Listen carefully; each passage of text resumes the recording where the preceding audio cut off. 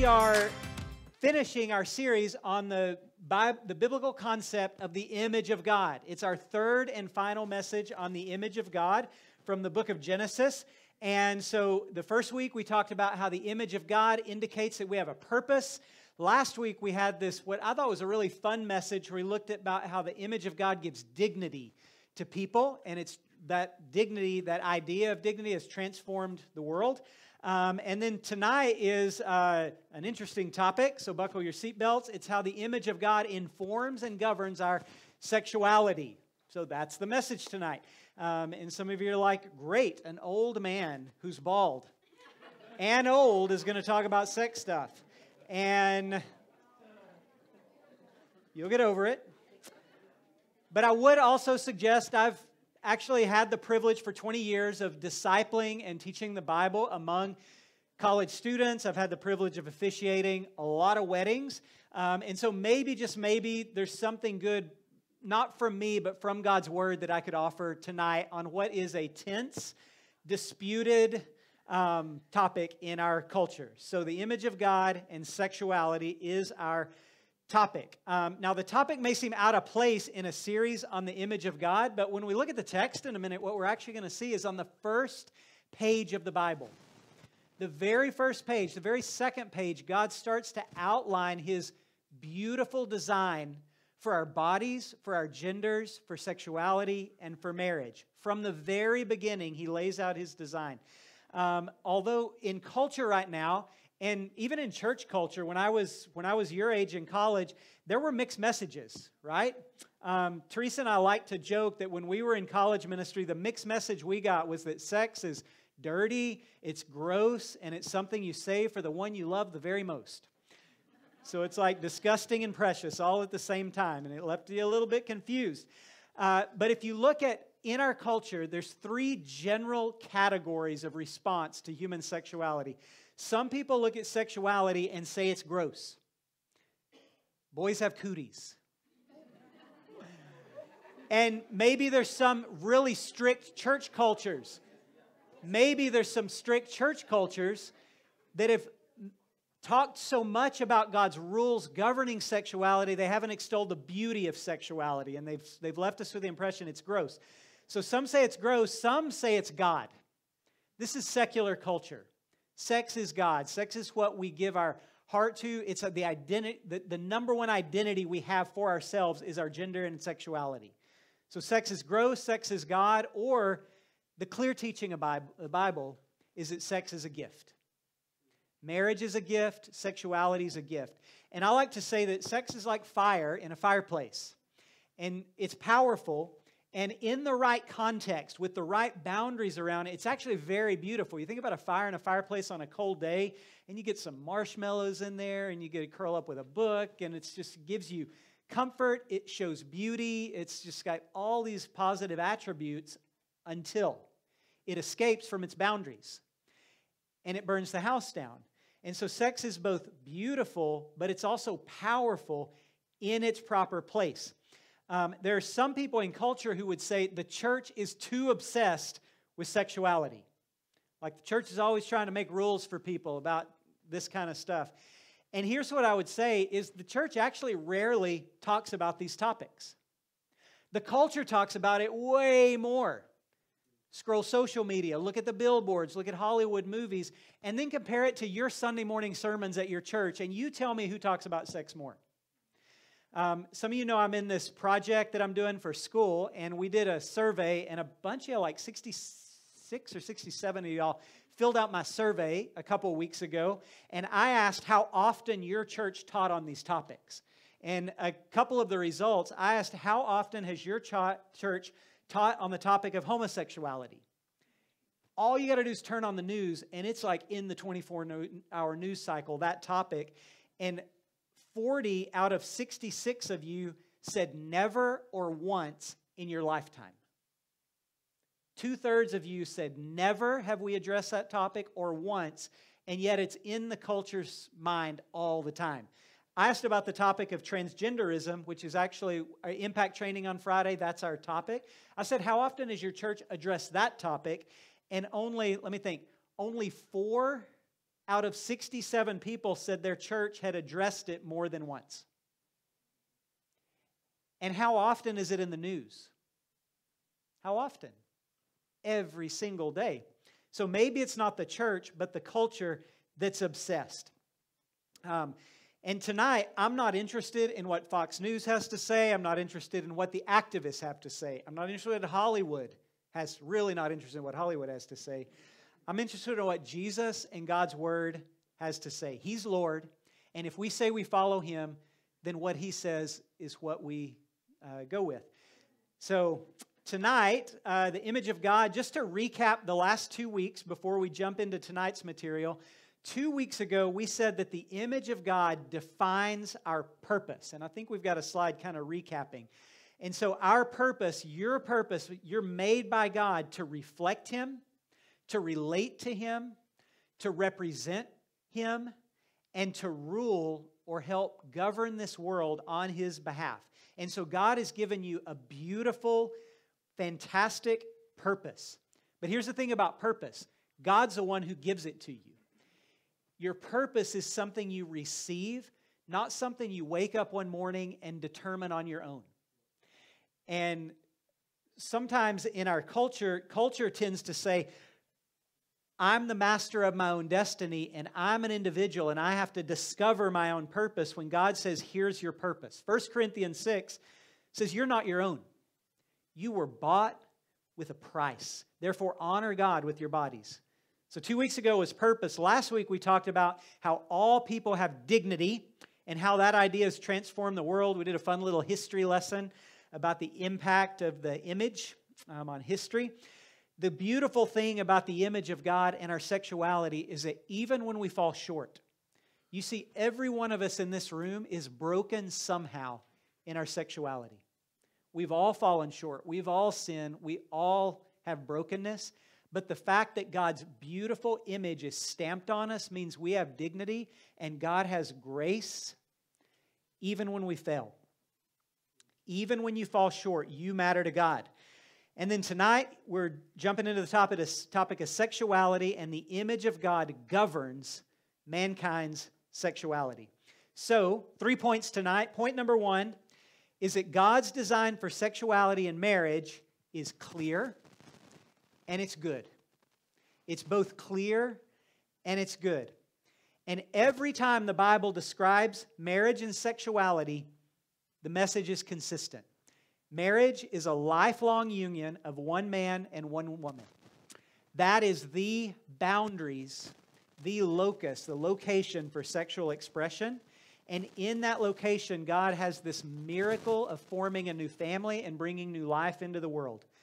So, whenever Genesis describes his design, it always has this biological sex component, male and female. Procreation, bring, starting families, is always part of his design. And I know that the world's not a perfect place, so it doesn't always work out perfectly, but that's its intention.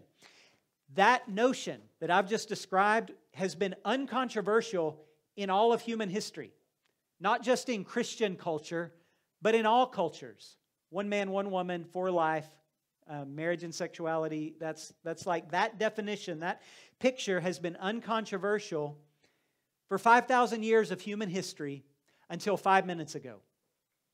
We'll talk under point two about what happened in the 60s and made that controversial.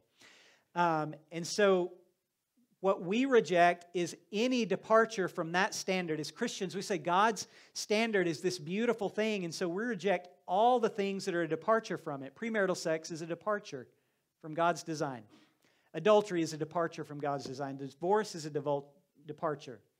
Homosexuality, transgender ideology, polygamy, spousal abuse, child abuse, all of those things we say have no place among God's people. We'll unpack that more in a minute. But a couple scriptures to guide us. One is the one we've been looking at all along, Genesis 1 27 and 28, the image of God passage. Genesis 1:27 says, So God created mankind in his own image, in the image of God, he created them, male and female, he created them. And God blessed them and said to them, and here he's going to give his first command to start families be fruitful increase in number, fill the earth and subdue it. On the very first page, the Bible affirms the complementing, complementing binary procreative nature of gender, marriage, and sex. Page one. This isn't the, this isn't the 202 lesson, the senior level stuff. This is God's page one for us. You flip to page two, though, and Genesis 2 20 and 25, we see the first man, the first woman, and God's going to God's going to describe um, the first marriage. And so Genesis 2:20, a few excerpts, it says, "But for Adam, the first man, no suitable helper, no partner was found. So the Lord God made a woman from the rib he had taken out of the man." I love the picture of when God wanted to make the first pair, he, he could have made her any way that he wanted, and he made her from his side. The imagery is symbolic because he could have taken her like a lot of ancient cultures said, from his foot because he's meant to rule over the top of her. He could have made her from his head, the way maybe some, not all, but some modern feminists say, where she's, it's the, now's the time for women to, it's like women's turn, right? And that's not where she came from. She came from his side to be his partner, to be his complement, to be his side. So God made him from the rib, made her from the rib to be called woman, for she was taken out of the man. And he said, That's why a man leaves his father and mother. That's a picture of him becoming, of him starting a new family, leaving one family to start another. He's united to his wife. That's a picture of marriage. And the two become one flesh. Here's what's really cool about that phrase, one flesh. We could, we could make a whole sermon on this. But if you read it in the original language, in the Hebrew, it emphasizes the word one. So if you're reading it literally, it would say, in one flesh God made them. And it's as if that word one is underlined, bolded, all caps to call attention to it. Now, if you're a Jewish person and you're reading this and you're one of the children of Israel, that word one is etched into your brain because every time, every morning, you say it in a prayer. You pray Deuteronomy chapter 6 Hear, O Israel, the Lord your God, the Lord is one. So love the Lord with all your heart, with all your mind, and with all your strength. And so the number one declaration of who God was was God is one. But now he's saying here, whenever he's making the first man and the first woman, says in some way their union takes two people who are two separate people and it makes them bolded, underlined, highlighted, one. Because what that union is meant to do is to remind us of God. Because there's a way in which sexuality and marriage done God's way is a testimony to the world of God. God is Trinity, Father, Son, and Spirit, three persons, but one God. God is the reconciler who takes diverse people from diverse cultures and makes them one. And in marriage, there's two people who are distinct people, two sinners, but somehow in his mystery, just like he's one, it makes them one. It's a beautiful picture meant to mirror or reflect God. It's awesome. Um, and it says, Adam and his wife were both naked. It's a funny word. They were both naked and they felt no shame. This picture of vulnerable to be fully known by each other, and it's beautiful. Um, one of the things we talked about at Impact Training this past week, if y'all were there, a bunch of y'all were there, it was awesome, um, is that sex is powerful. It's a powerful, powerful thing. Um, it's one of the reasons that culture exalts it and makes it almost godlike, is because it's so powerful. Um, and we use the analogy on Friday about a MacBook Pro. Anybody have a MacBook Pro? Y'all rich people got a MacBook Pro? brand new MacBook Pro. I don't know what y'all spend, but it's like three grand y'all drop on a really nice MacBook Pro. It is a powerful, powerful computer. And if you read the documents on a MacBook Pro, it's going to say something like this using this product in a manner different than its intended design will violate the warranty. It'll say something like that. Basically, if you try to use it in the swimming pool, you're, we're not responsible for it. It's meant to be used a certain way. And when you use it that way, it's very powerful.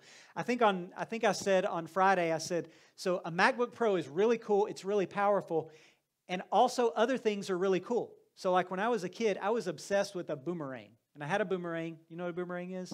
It's like a curved stick and you can throw it, but usually when you throw a stick, it just goes, but a boomerang comes back. It's crazy. And a boomerang's cool and a MacBook Pro is powerful, but if you decide to use the MacBook Pro as a boomerang, it's a bad idea. $3,000 down the drain. And sex is powerful. And when you use it according to its designer's instructions, it's good. And when you misuse it, it's a costly, costly mistake. So, when we read scripture, we're going to see, I think we got a slide for this. Purposes of, se- of sex described in scripture. God does not arbitrarily give his commands, he has an intention for them. And one thing we see is that sex's boundaries are the boundaries of marriage, but three purposes for it. One is procreation.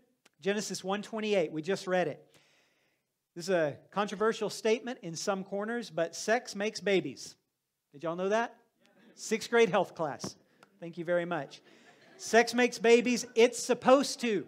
Sometimes when sex makes babies, and we don't intend for it to, we like we think we can control it, we call it an accident. We call it an oops. But it's actually what it's supposed to do.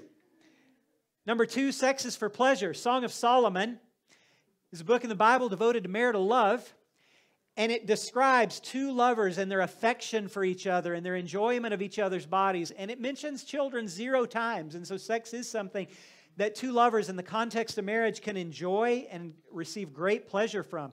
You know, there's some Christian traditions that reject this idea. St. Augustine believed that sex was, a, was kind of a useful evil. We needed it for children, but enjoying it too much could take your attention off of God. So you should do, you should do it to have babies, but you should try your hardest not to like it. Is what he taught, and that's been a stream in certain parts of the Catholic Church for years. But it's meant by God to be pleasurable and fun. Number three, procreate, uh, protection. Um, 1 Corinthians 7 3 through 5, Paul says that in marriage there is so much immorality in the world, and y'all know this. You face temptations temptations online, temptations with the person you're dating, temptations for stuff you might do with random people. And Paul says that married couples should be together because it protects them from the temptation that's so rife in the world. And so part of God's design is that it creates this protective um, bond between a couple. And then the last one is oneness. We mentioned this already from Genesis 2, but it's a picture of the character of God and the love and intensity that he feels for his people. The love that God has for his church is pictured in sexuality. Um, there are some people in culture who are going to make the claim that a lot of the verses we've read are Old Testament.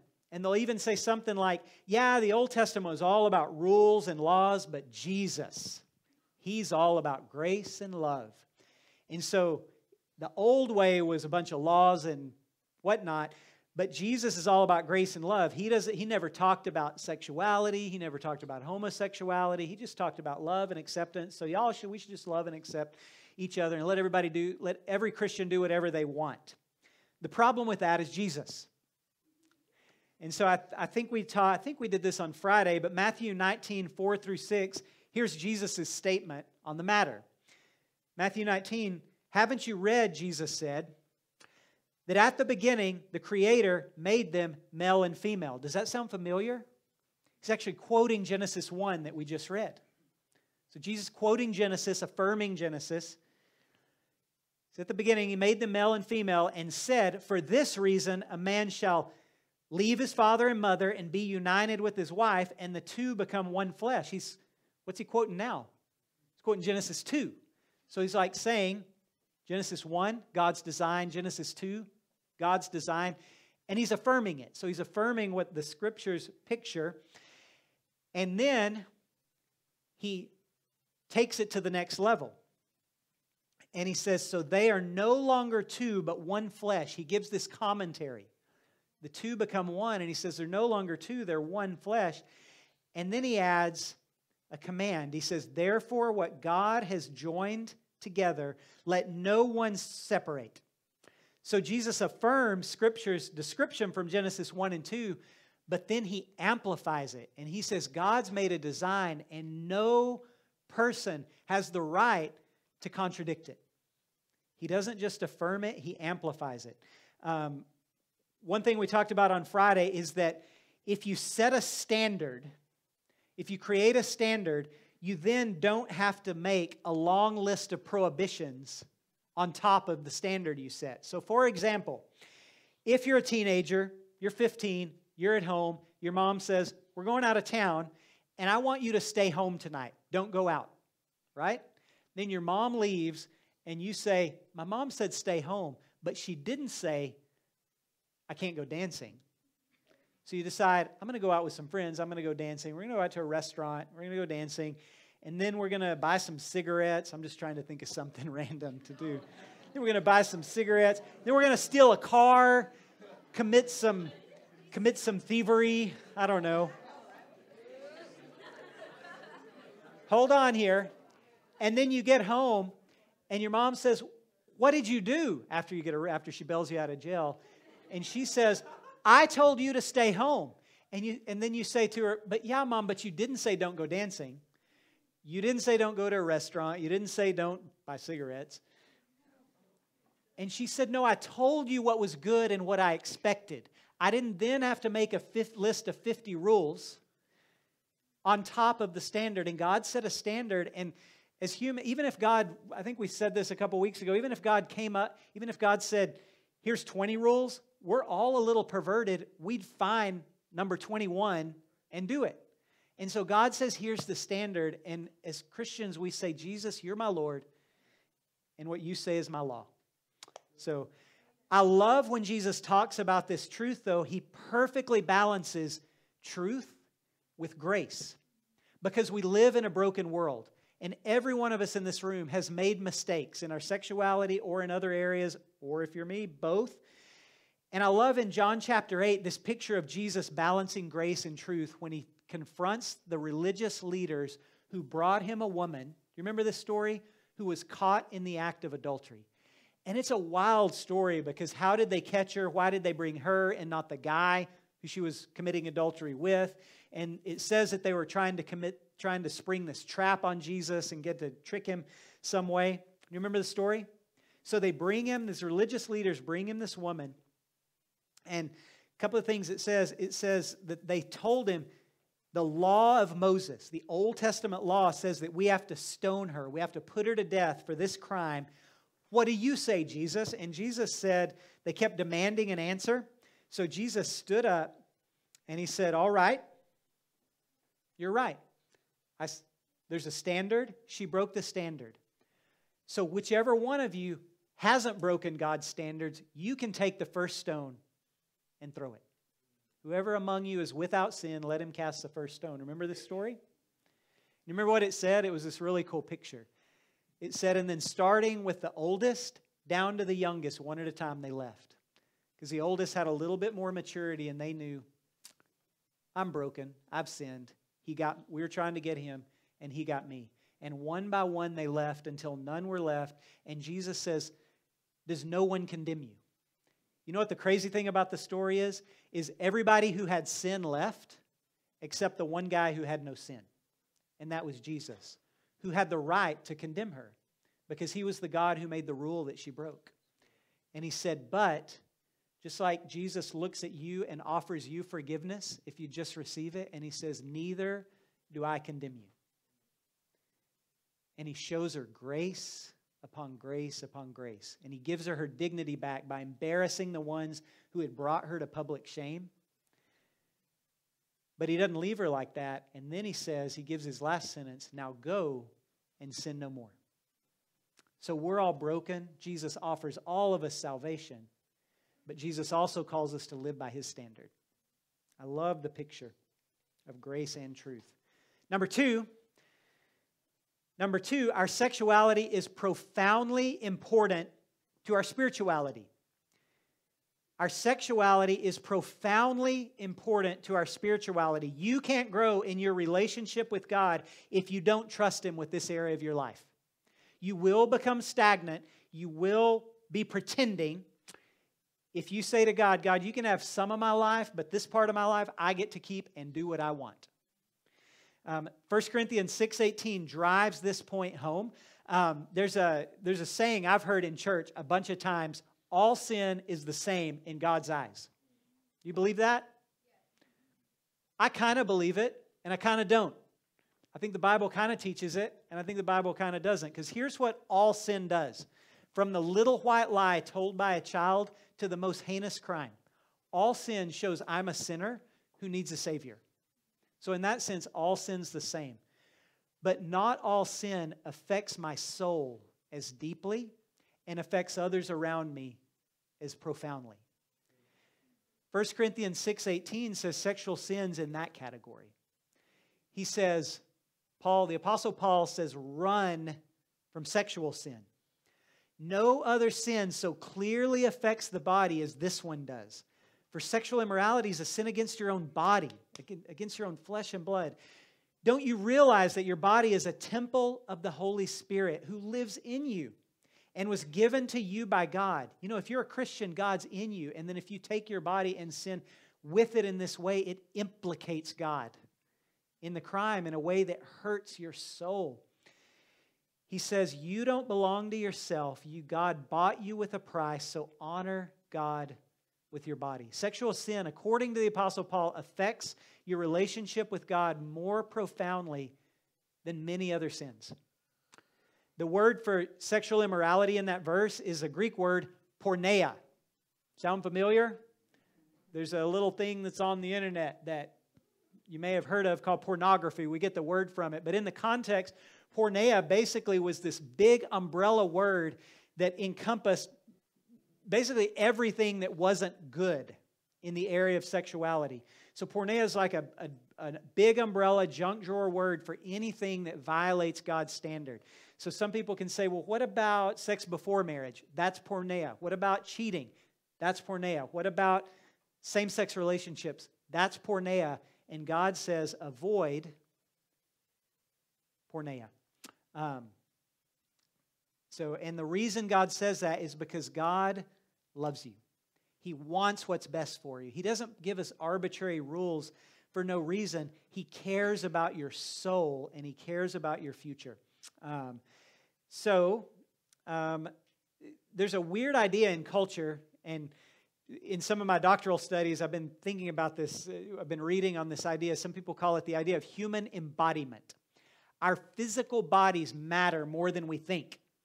Um, you know, if I, I'm trying to pick somebody in the front row, Wade, I'll pick on Wade for a minute. if I made Wade stand up here and I said, Wade, just stand there, close your eyes, and I punched Wade in the face. Sorry, Wade.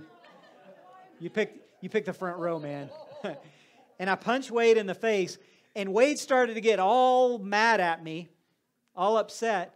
And he'd say, No, no, no, Wade, wait, it's okay, it's okay. I didn't hit you. I just hit your body. But the real you is like your soul. The real you is like deep down inside of you. So I didn't hit the real you. I just hit this like temporary shell, this temporary tent. No, Wade's going to be pretty ticked off because I didn't just hit his body, I hit Wade, right? because what happens to our bodies happens to us. You are your body, your body is you. God didn't create an immaterial soul named Adam and then look around and fashion a body and then stick Adam's immaterial soul and then the body dies and then that soul. So when Jesus died on the cross, it wasn't this ghost of a soul that went to be with God. It was his physical body that raised from the dead. And the hope we have as Christians isn't that our physical that, that like we'll be separated from our bodies and we'll float up to heaven and we'll play a harp on a cloud in heaven. Our hope is that just like Jesus' body came back to life, we'll be able to conquer death the way he did. And we'll be raised from death to life, not in some metaphorical sense, but actually alive, physically alive. And God cares. You know, if you talk to somebody be sensitive here, who was abused. They don't say, somebody abused my body, they say they abuse me. God cares what others do to your body because that was you that was hurt, and God cares what you do to your body because what we do with our body affects our soul. In the early church, there was a false teaching called Gnosticism. Have you heard that word before? The Gnostics. It was actually, um, there was this Greek philosophy with these people who followed the, the Greek philosopher Plato, not Plato, Plato. Plato, Aristotle, Socrates, maybe you did the world, you remember from world history. They, they took Plato's philosophy, they married it to Christianity. They followed Plato but used Christian terminology. We called them the Gnostics. And one of the things Plato said is that the body's imperfect, but your soul or your spirit's perfect. And so basically, if you're a Christian, your soul belongs to God, and you can do whatever you want with your body. So the Gnostics, actually, they went to one of two extremes. Some of them despised their bodies and they punished their bodies and they starved their bodies and they fasted and they wore sackcloth and they, they whipped themselves. And some indulged their bodies. And they said, We can have all the sex with prostitutes that we want because it's not me doing that, it's just my body. And we think that's crazy, but it's the philosophy that our world has. I can do anything I want, it doesn't affect my soul. Um, in many, many, and there are also other ways we reject God's ideals for our body if we become obsessed with our appearance, if we hate our appearance, if we exercise to the point of vanity, if we engage in sexual activity, we're treating our bodies in a way that God didn't intend. But your sexuality, what you do with your body, affects your soul. And then, point number three, last point we should expect culture to push back on God's design for sexuality. Everything in us says this, is, everything in our broken, fallen selves says this is bad. Culture says this is not correct. The devil himself wants us to live in a different way. Tim Challies is a pastor, um, and he says that culture doesn't just have one view of what sex is all about, it actually has three different views. So let me tell you what he says his the three views are, and you can tell me you probably have seen all three views. He says, one, sex is appetite. Sex is a natural appetite like hunger. It's just a physical urge. Having sex is no more immoral than eating food. And we're basically like animals. And so to deprive someone of sex is like depriving a child of food. And it's bad. Um, they actually said that in the New Testament world in 1 Corinthians 6.13. Paul quotes people who said, food is meant for the stomach and the stomach for food. And basically they were trying to say, when I have an urge, I should fill my urge. This is not a new idea, but you've heard that in culture. Number two, he says, well, another view is sex as affection. Sex is simply how two people love, express their love for one another. So to forbid sex is to invalidate love. And what they're really saying is, I can't love somebody unless I'm having sex with them. And so, this sex as affection is used to justify same sex marriage. It's also used to justify divorce when we fall out of love. And then the third view that culture suggests is that sex is fulfillment. Sex is fulfillment. In other words, sex is key is a key part of my identity. Sex is a key part of my identity. And if I don't have freedom to do what I want to do and freedom to identify how I want to identify, then I'm an incomplete person. And this is where we're getting into some of the stuff that's so controversial now. Sex is about individual, in this view, sex is about individual fulfillment and not something I give to someone else to serve them. It's just about my individual fulfillment and who I am. It's certainly not to glorify God. And as a Christian, listen to this your ultimate identity, your ultimate fulfillment comes from Jesus Christ. And sex is a gift from God to be enjoyed, but it is not who you are. And we have a movement in culture that wants to say that my sexual identity, my gender identity, my attractions to whichever gender, is who I am first and foremost. And I want you to tell you this if this is, if this is you and you're tempted, you're, you're wrestling with these ideas, maybe you have a friend who's not a Christian, but they're gay.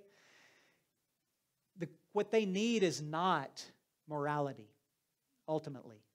what they ultimately need is to say, I want to find my deepest identity in my Creator who made my soul, who has a beautiful plan for my life, and not get my identity from lesser things.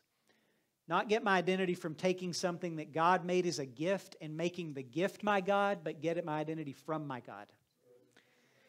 And so uh, I, I, had somebody ask me this question last week. They said, I have a friend and they're gay, and, but they're not a Christian, but I want to talk to them about Jesus, but it comes up every time we talk.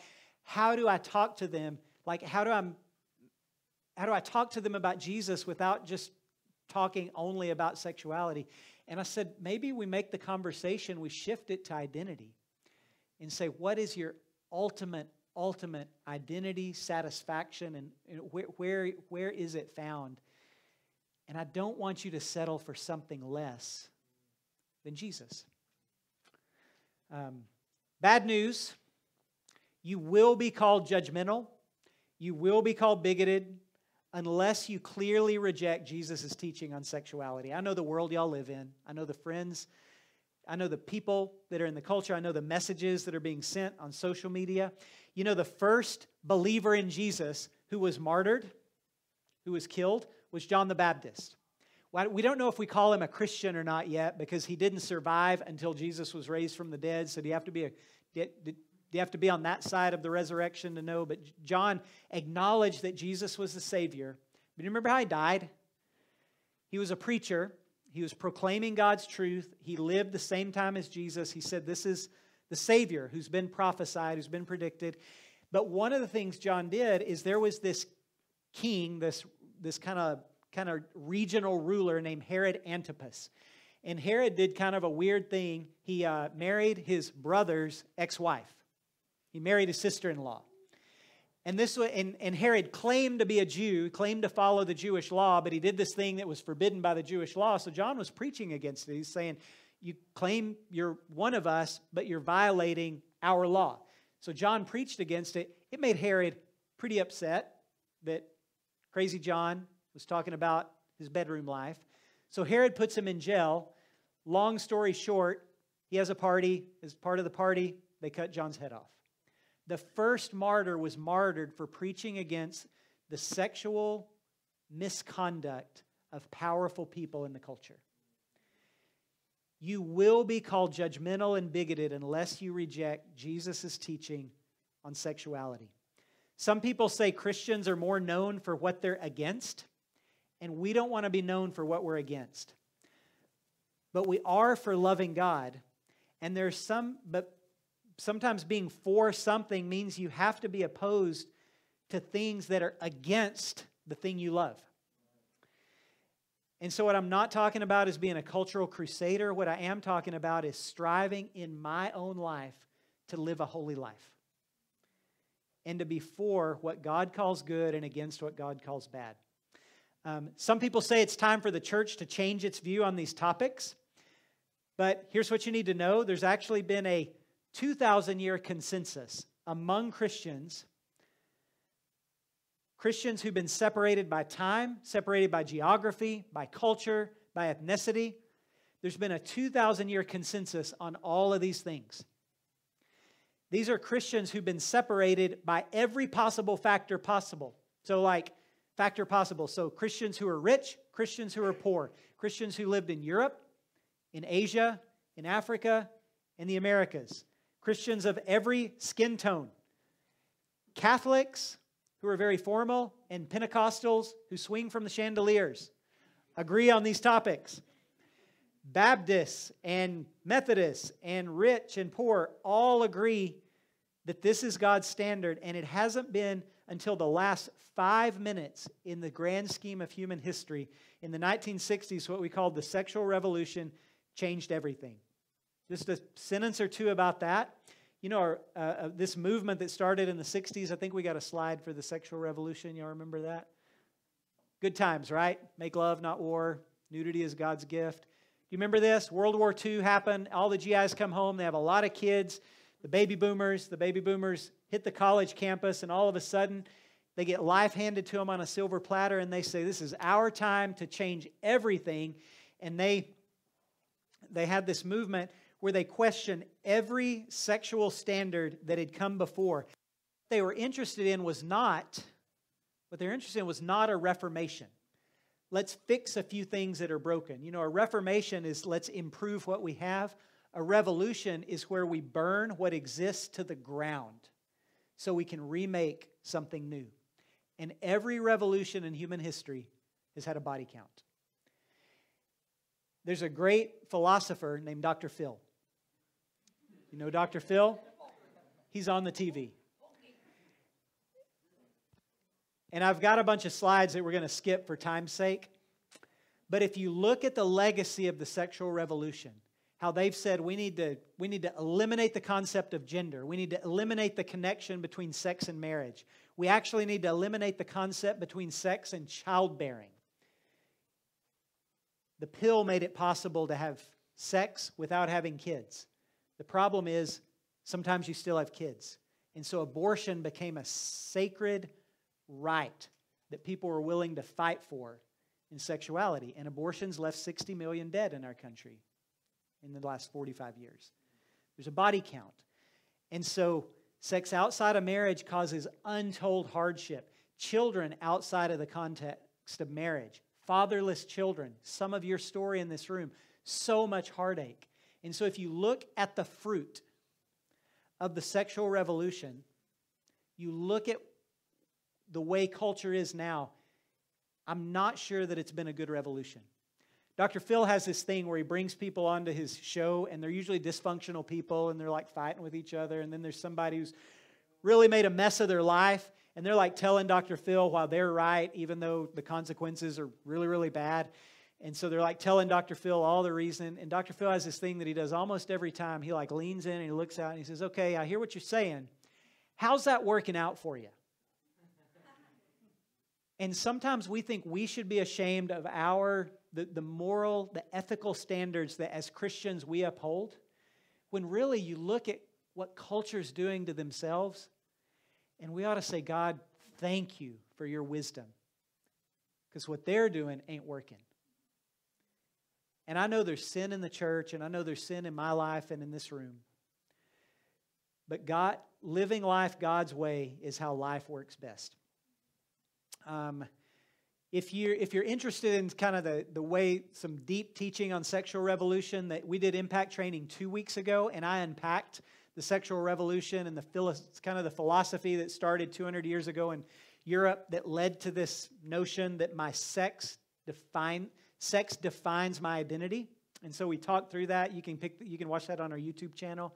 Uh, but for now, I'm going to skip to um, I'm going to skip to Galatians 3, Tate. Galatians 3:26 is a passage that um, I've heard my whole life, but just a few weeks ago, my wife gave me this really interesting insight into the passage. And she said, because we were teaching on these topics, and if you know Galatians 3, it's where it says, For there is neither Jew nor Gentile. Being a Christian breaks down ethnic barriers. Neither slave nor free, it breaks down socioeconomic barriers. Neither male nor female, being a Christian breaks down gender barriers. You're all one in Christ. Um, because even then, people created all of these barriers where they looked at ethnicity, they looked at money, they looked at gender for their identity. But look at Galatians 3:26 how it started. He said, "So in Christ Jesus, here's your identity. You are children of God by faith." So some in this room, you're not yet a Christian. You haven't said to Jesus, "You are my Lord." And when we do that, we in our hearts we bow our knee to Jesus and we say, "Jesus, I want to follow you and believe in you." Jesus says, "And I will receive you as my child." And so it says Jesus so in Jesus Christ, you are children of God through faith. For you've been baptized into Christ, so you're in Christ, and you've been clothed with Christ. I love the picture of if you're a Christian, Christ is in you and Christ is wrapped around you. Your identity, if you're a Christian, is Christ. It's not Jew or Gentile. It's not your ethnicity. There's some people in culture who want to make ethnic identity or racial identity number one. If you're a Christian, your Christian identity is number one. It's not slave or th- free. Sometimes we say, I want to get rich. That's what my life's all about. Make your money, do whatever. But your identity, first and foremost, has to be in Jesus. It's not slave nor free. It's not male nor female. It's not your sexuality. It is Jesus Christ. And in the culture, when people settle for anything else, they're settling for second best. So let's point people not to sexuality, but to Jesus. So, three applications, and I'm going to invite Eric to come back up and close us in a song. One is love Jesus more than anything else. If you're not a Christian, you can become one. During this song, you could cry out in prayer to Jesus, Jesus, save me. And the Bible says he will. The Bible says if we confess our sins, I'm a sinner, I need you, Jesus. He's faithful and just. He'll forgive you your sins, cleanse you from all unrighteousness. So love Jesus more than anything. Number two, strive to live out God's design in your sexuality. 1 Peter, 1, 1 Peter says, Be holy. The, the, God says, Be holy because I'm holy. The standard of a Christian is to try our best to live like Jesus with his help. So strive to live it out. If you're addicted to porn, if you're doing stuff with a person you're dating you shouldn't, strive to live for Jesus. And then, last thing, Humbly resist the pressure to compromise your convictions. God's standards are good. Don't doubt that. Let me pray for us and we'll close with a song. Thank you, guys. Father, thank you so much for creating us. Thank you that every man and woman in this room is your creation, made by you, stamped with your image. God, I know there's some people in this room struggling with their own self worth and value for because of words that have been said to them that are hurtful or because of things they've done.